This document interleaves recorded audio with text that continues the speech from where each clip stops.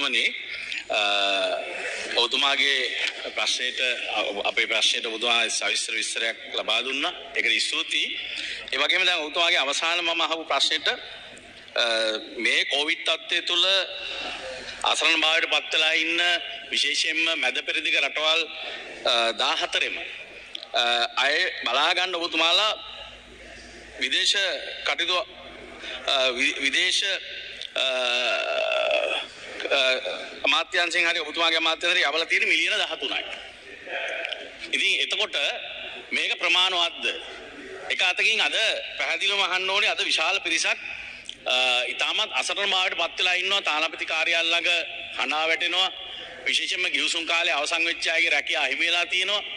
එතකොට එක එක පැත්තකින් ඔබතුමා පහුගිය වසරේ මේ කොවිඩ් ආරම්භ වෙනවත් එක්කම මේ තානාපති කාර්යාලවල කම්කරුවන්සේ සේවය කරපු 126 දෙනෙක් කැඳවලා දැන් අපිට තියෙන තොරතුරු 16 දෙනයි මේ කටයුතු බලන් ඉන්නේ. ඉතින් ඒක අපහසුයක් වෙලා තියෙනවා නේද කියන එකත් අහනවා. ඒ වගේම දැන් ගිය අවුරුද්දෙත් මේ කොවිඩ් තත්ත්වය තුලත් අපේ රටට ඇමරිකානු ඩොලර් බිලියන 7.0 ගාණක් මහ බැංකුවේ වාර්තාව අනුව මේ විදේශ රැකියා ශේෂ්ත්‍රයෙන් අපිට ලැබිලා තියෙනවා. ඊට ඉස්සලා අවුරුදු බැලුවත් දෙදස් විසි දහනමය බැලුවත් දහට බැලුවත් හැම අවුරුද්ධකම ඇමරිකාන් ඩොල බිලියන හතකට වඩා අපිට ආදායමක් විදේශ විනිමය කෙලින්ම අපිට ලැබිලා තියෙනවා. එතකොට අපි uh, සාධාරණද මේ මේ අය බලාගන්න මෙවැනි තත්ත්වයක් තුළ මිලියන 13ක් විතරක් විදේශ සේවා නියෝජිත කාර්යාංශයෙන් uh, එහෙට යවලා මේ ඔබතුමා කිව්වර ආහාර ද්‍රව්‍ය මේ නොයෙකුත් දේවල් වලට ලබා දීලා තියෙන මුදල එච්චරයි. ඉතින් ඒ වගේම අහනවා ඔබතුමා දැන් කිව්වා මේ මේ ටිකට් පත් ලබා දීලා තියෙනවා කියලා. අපිට තියෙන තොරතුරු අනුව විදේශේවා නියුක්ති කාර්යාංශයේ බිලියන 10ක විතර තැන්පතුවක් තියෙනවා මේ ශ්‍රමිකයන්ගෙන් අය කරගත්ත. ඒතර ඒවා යොදවලා ඇයි අඩු ගානේ මේ මේ මේ අපේ රටෙන් ගිය ඒක ඔක්කොම උත්තර දෙන්න. අවද උත්තර දෙන්න බුදුහා. ඔව් දැන් ඔබ ඔබතුමාගේ පළවෙනි ප්‍රශ්නය අපි විදේශ කටයුතු අමාත්‍යාංශ මේ අපේ බියුරෝ එකෙන් මිලියන 13ක් විතරයි යවලා තියෙන කියලා. විදේශ කටයුතු අමාත්‍යාංශයෙන් මිලියන මිලියන 82ක් වියදම් කරලා තියෙනවා. ඒත් ඒ අය වෙනුවෙන්. එතකොට අවශ්‍යතාවයක් තියෙනවා නම් අපි යවනවා ඉල්ලීම අනුව තමයි අපි යවන්නේ. ඒක පළවෙනි කාරණේ. දෙවෙනි කාරණේ තමයි ඔබතුමා කියා සිටියා දැන් මේ මේ තැන් තැන් වල මෙයයි ඉන්නවා කියලා. අපේ නාමල් රාජපක්ෂ අපේ ඇමතුමත් ගිහිල්ලා බැලුවා. ඒ ඉන්න ඔක්කොම දෙන්න ගන්න අපේ මේ අපේ සංචාරක ඇමතුමත් මැදිහත් වෙලා ඒ අයට ටිකට් අරන් දුන්නා. නමුත් එක අවස්ථාවකදී මේ එන්න මෙලිකමක් දැක්වුවා. මොකද නිරෝධායන වීමල තියෙන ප්‍රශ්න නිසා. ඒ නිසා විදේශ අපේ බියුරෝ එක ඔබතුමා දකිින්ද ඇති පත්තරවල ලොකූ ඇඩටිස්මන් දාලා හෝටල් හෙව්වා. දැන් හෝටල් කාමර හයසීයක් හොයලා තියෙනවා. හොයලා ඒ අයට නොමිලේ ඇවිල්ලා නිරෝධානය වෙන පාතුකම් අපි දීලා තියෙනවා. දැන් හෙට අනිද්දා වෙනකොට පළවෙනි 600 ගෙනෙන්නට මෙතුමා වැඩ කටයුතු කරලා තියෙනවා. ඔව්. ඉතින් ඒ නිසා අපි ඒ සඳහා දැන් තිරසාර වැඩපිළිවෙලක් යොදලා තියෙනවා. එහෙ ඉන්න අය එන්න. නමුත් ඔබතුමාට දැනගන්න කියන්න ඕනි සමහර වෙලාවට අපි එන්න කියලා කිව්වම ඔය ඉන්නවා කිව්වට මේ වෙලාවේ මේ රාමදාන ඒවා මේවා ප්‍රශ්න ඒවා මේවා නිසා ඒ ඇයට එහි ගෙවීම් වැඩි. ඒක නිසා සමහරව එන්න ඕන කියලා එන්නේ නැහැ. එහෙමත් ප්‍රශ්නයක් තියෙනවා. නමුත් එන්න ඕන අයට එන්න අපි හරියට මඟ සලසලා දීලා තියෙනවා. ඊළඟට ওই විදේශ තැන්වල හිටියේ එක ඇත්ත එකසිය ගානක දේශපාලන පත්වීම් දීලා ඒගොල්ලොන්ට අරාබියට යවනවා. අරාබි භාෂාව අකුරක්වත් දන්නෙත් නෑ ඉංග්‍රීසි අකුරක්වත් දන්නේ නෑ මේ විදිහට ඊශ්‍රායලට යවනවා හීබ්‍රු භාෂාව දන්නෙත් නෑ හරියට ඉංග්‍රීසි කතා කරන්නත් බෑ. ඉතින් ඒ නිසා අපි මේක ඔබතුමා කිව්වා බිලියන 10ක් තියෙනවා කියලා. බිලියන 10ක් තියෙන එක ඇත්ත. නමුත් ඔබතුමා දන්නවා බිලියනයක් විතර යනවා අවුරුද්දකට මේ කාර්යාංශයේ විහිදම් වලට. එතකොට පහුගිය අවුරුදු තුල මේ කොවිඩ් වසංගතය නිසා යවන්න බැරි වුණු නිසා ලැබුණු ආදායම ඉතාම අඩු වුණා. ඒ නිසා පඩි නඩි කියවන්න මට පුළුවන් ওই බිලියන 10ම දවස් දෙකකින් වියදම් කරලා ඉවර කරන්න. එතකොට මේ ඉන්නේ 1000 ගානට පඩි දෙන්නේ කොහොමද? ඒක නිසා ඒක කළමනාකරණය කරන්න ඕනි. ඒ නිසා අපි ඒක නිසි ලෙස කළමනාකරණය කරගනිමින් අනවශ්‍ය කාර්ය මණ්ඩල අඩු කරගනිමින් ඉතින් භාෂාව දන්නේ නැති අය එතන ඉඳලා මේ උදව් කරන්න බෑනේ. මෙයයි මෙයයි යව්වේ මේ දේශපාලන හිතවත්කම් මත යව්වේ දැන් අපි ක්‍රමවේදයක් සලසනවා. දේශපාලන හිතවත්කම් මත නැතුව ප්‍රසිද්ධ විභාගයක් කියලා අර ෆොරයින් සර්විස් එකට බඳවා ගන්නවා වගේ බඳවගෙන භාෂාව පිළිබඳ දැනුමක් තියෙන හොඳ උපාධිධාරීන් අපි රටේ යවන්නේ. ඔව්. ගරු ඇමතුමනි විශේෂයෙන්ම දැනගන්න කැමති දැන් ඔබතුමා කිව්ව මේ ටිකට්පත් නොමිලේ දුන්නා කියලා. දැන් අපිට දැන් තියෙන තොරතුරු අනුව නම් එන අය දෙගුණයකට වඩා මුදලක් ගෙවලා ටිකට් පත ගන්න ඕනේ. ඒ වගේම නිරෝධානයේට මේ වෙනකොට ගොඩක් දෙනෙකුට ඒ පළවෙනි අවස්ථාව ලැබෙන්නේ මුදල් ගෙවන නිරෝධානයේ. ඒතකොට මැද පෙරදි යන්නේ ඉතාමත් ඔබතුමා දන්නවා සමහර ගෘහ සේවිකාව යනවා ඒ වගේම කම්කරු රැකියාව වලට යනවා. මේ අයට ලොකු ආදායමක් නැහැ මේව කරන්න. ඉතින් ඒ අයටවත් අඩු ගාණ ඔබතුමා අර නොමිලේ දෙනවා කිව්ව එක ඇයි කඩිනමින් දෙන්නේ නැත්තේ? තුමාට ලැබෙන තියෙන තොරතුරු වැරදි. එකක් මේ ආපු අය ඔක්කොම දැන් අපි 53000ක් ඉන්නවානේ මේ රටට මේ වෙනකොට. ඔය ගෙනාපු 53000ම හෝටල් වලට ගියේ නෑනේ. මේ 53000න් 6-7000ක් හෝටල් වලට යන්න ඇති. ඉතුරු අය සියලු දෙනාම රජයේ නිරෝධායන ආයතන වලින් රජයේ මගින් වියදම් කළ ගෙනාපු අය. ඒක නිසා ඒ කියන ඒක කියන தත්ත්වය වැරදි. ඒ ඒ අයට අනිත් එක ටිකට් අපි ලබා දීලා තියෙනවා අවශ්‍ය අයට. නැත්තම් දැන් මෙහෙම දෙයක් තියෙනවා. රැකියාවේ කොන්ත්‍රාත්තු අවසන් වෙලා නිවාඩුවට එන අයත් දැන් බලාපොරොත්තු වෙනවා නොමිලේ ටිකට්. ඒක කරන්න බෑනේ. ඒක ඒ ඒ ගිවිසුම අනුව ඒගොල්ලෝ සාම්පුතුන් ඒ ටිකට් එක දෙන්න ඕනේ. අනිත් එක හිරගෙවල් වල ඉන්න අයයි සේෆ් හවුස් වල ඉන්න අයයි ඔක්කොටම ටිකට් දීලා ගෙන්නවා. ඔව්. පොඩි පැහැදිලි කර ගැනීමක්. ඇත්තටම ඔබතුමාගේ පැත්තෙන් බැලුවම සමහර දේවල් ඔබතුමා කරුණු ඉදිරිපත් කරනවා. නමුත් මේ විදේශ රැකියාවල ඉන්න අය ඔබතුමා කියන විදිහට මේ මේවැනි කෝවිඩ් තත්ත්වයක් තුළ අසර වෙලා ඉන්න අයට ඒ අය ආපහු ගෙදර පැමිණීමේ ටිකට් පත අද දෙගුණයක් වෙලා තියෙන නිසා අඩු ගානේ සාධාරණ ගානකට. එහෙම නැත්නම් නොමිලේ ලබා දෙන එක මං හිතන්නේ අසාධාරණයක් කියලා. මොකද එයාලා විදේශ විනිමයක් අපිට හොයන අය. ඉල්ලීමක් ආවොත් අපි කියලා තියෙනවා එයාගේ සර්කම්ස්ටන්සස් ඇයි එයාට ටිකට් පතක් ගන්න බැරි කියලා හේතුවක් දෙනවා නම් අපි ටිකට් පත් අරන් දෙන්න ලෑස්ති. නමුත් අනික් කාරණේ නිරෝධායනය වීමේදී ඔබතුමා දන්නවා මුලින්ම අර හෝටල් වලට ගෙනුවේ මුදල් ගෙවන්න පුළුවන් අයට යට ගෙවන්න පුළුවන් නම් ඉන්න කිව්වා දැන් ගෙවන්න බැරි අයටත් අපි හෝටල් කාමර 600ක් හදලා තියෙනවා. දැන් එන මේ එන සතියේ ඉඳන් නොමිලේ අයට ඇවිල්ලා ඉන්න පුළුවන්. ආසාදන වූ ශ්‍රමිකයන්ගේ සංඛ්‍යාව සේවය කරන රට අනුව වෙන් වෙන් වශයෙන් විදේශ සේවා නියුක්ති කාර්යාංශය යටතේ කම්කරු සුබසාධනය අංශ රටවල් 14 තානාපති ආකොල්සල් ජනරාල් කාර්යාලය 16ක පවත්වාගෙන අතර 2021යි 3යි 31 වන විටේ රටවල වෙසෙන ශ්‍රී ලාංකික විගණමික ශ්‍රමිකයන් අතුරෙන් 4432ක ශ්‍රමිකයන් ප්‍රමාණයක් කොවිඩ්-19 වෛරසය ආසාදනය වී ඇත.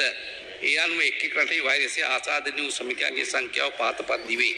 සෞදි අරාබියාව රියාද් නගරයේ 35යි, ජියාද් ජෙදා නගරයේ 32යි, එක්සත් අරාබි එමිරාජ්‍යයේ ඩුබායි 192යි, අබුඩාබි 150යි, බහරේන් 232යි, සයිප්‍රස් 40යි, ඊශ්‍රායලයේ 32යි, මැලේසියාව 20යි, සිංගප්පූරුව 26යි, දකුණු කොරියාව 29යි, ලෙබනන් 190යි, මාලදිවයින 395යි, කුවේට් 992යි, ඔමාන් 250යි, කටාර් 1792යි, ජෝදාන් 5යි. ආසාදනින් පසුව පසුව සුව වූ ශ්‍රමිකයන්ගේ සංඛ්‍යාව සේවය කරන රට අනුව ඉල්ලා තියෙනවා. ඒ අනුව සුව වූ ශ්‍රමිකයන්ගේ සම්පූර්ණ සංඛ්‍යාව 4071යි. රියාද් වලින් 11යි 2040යි ඩුබායි 170යි අබුඩාබි 148යි බහරේන් 230යි සයිප්‍රස් 37යි ඊශ්‍රායල 31යි මැලේසියාව 20යි සිංගප්පූරුව 26යි දකුණු කොරියාව 18යි ලෙබනන් 140යි මාලදිවයින 393යි කුවේට් 937යි ඔමාන් 240යි කටාර් 1630යි ජෝර්දාන් එකක්වත් නැහැ. ආසාදනින් පසු මරණයට පත්තු ශ්‍රමිකයන්ගේ සංඛ්‍යාව එක් එක් රටවල් අනුව සම්පූර්ණ මියගිය ශ්‍රමිකයන්ගේ සංඛ්‍යාව එකසිය විසි දෙකයි. සෞධ අරාබියාවේ රියාද් නගරයේ විසි හතරයි යදා නගරයේ දොළහයි එක්සත් අරාබිමි රාජ්‍යයේ ඩුබායි විසි දෙකයි අබුඩාබි දෙකයි භාරයෙන් දෙකයි සයිප්‍රස් එකක්වත් නෑ ඊශ්‍රායලය එකයි මැලේෂාවේ නෑ මරණ සිංගප්පූරුවේ නෑ දකුණු කොරියාවේ නෑ. ලෙබනන් වල හතරයි මාලදිමිනේ නෑ. කුවේට් වල 36යි ඕමාන් වල හතයි කටාර් වල 9යි ජෝදාන් වල 3යි ඒත් මේ වන විට ශ්‍රී ලංකාවට පැමිණි ශ්‍රමිකයන්ගේ සංඛ්‍යාව විදේශ සේවා නියුක්ති කාර්යාංශයේ කම්පන සුබ සාධාංශයේ පවත්වාගෙන යන රටවල් 14හි ශ්‍රමිකයන් අතුරෙන් 2021 3යි 30 වන දින විට ශ්‍රමිකයන් 56403ක් නැවත මෙරටට පැමිණ ඇත. එක් එක් රටවල් අනුව මෙරට පැමිණි ශ්‍රමිකයන්ගේ සංඛ්‍යාව තොරතුරු ඇමනුම් එකෙහි සඳහන් වෙනවා. ඊළඟට රැකියා අහිමි වූ විදේශගත සේවකයන්ගේ සංඛ්‍යාව රටවල් 14ක 30832යි ඒකත් ඇමනුම් දෙකෙහි සඳහන් වෙනවා සවිස්තරාත්මකව ඔවුන්ට සහන සැලසීමට ක්‍රියාමාර්ග කොවිD-19 වසංගත හේතු විපතටපත් වුවන්ට ශනික සහන සැලසීමේ පියවරක් ලෙස විදේශ අමාත්‍යාංශ විසින් ඩුබායි සහ දෝහා රටවල් වෙත වීලි සලාකා දේශීය ඖෂධ පැකට් 10000ක අධික ප්‍රමාණයක් ගුණින් යවා ඇත. තවද මූලික වෛද්‍ය පරීක්ෂණ ඖෂධ මුඛාවරණ తాවකාලික නවාතැන් ආරක්ෂිත අපන්න අභ්‍යන්තර ප්‍රවාහනය සුබ සාධන කටයුතු සහ ඇතැම් අවස්ථාවලදී ගුවන් ටිකත්පත් හැපීම ආදී කටයුතු සඳහා විදේශ අමාත්‍යංශ මගින් රුපියල් මිලියන 82 මුදලක් වැය කොට ඇත. එසේම ශ්‍රී ලංකා විදේශ සේවා නියුක්ති කාර්යාංශය මගින්ද විදේශගත ශ්‍රමිකයන් සඳහා ආහාර පාන වෛද්‍ය පහසුකම් නවාතැන් පහසුකම් වැඩිසායන් ලබා දීම සඳහා රුපියල් 12කට අධික මුදලක් වැය කොට ඇත. විදේශ සේවා නියුක්ත කාර්යාංශ මගින් පවත්වාගෙන ලබන සුසාධන මධ්‍යස්ථාන මගින් නිරෝධායනට ලක්වන ශ්‍රමිකයන් සඳහා හෝටල් ගාස්තු ගෙවීම PCR පරීක්ෂණ සඳහා ගෙවීම සිදු කිරීම සහ විවිධ ආයතන සම්බන්ධීකරණය කර ගනිමින් ගුවන් ගුවන් ටිකට් පත් සහන මිල ලබා දීම වැඩසටහන ක්‍රියාත්මක කිරීම හා නොමිලේ ගුවන් ටිකට් පත් ලබා දීම සිදු කර ඇත.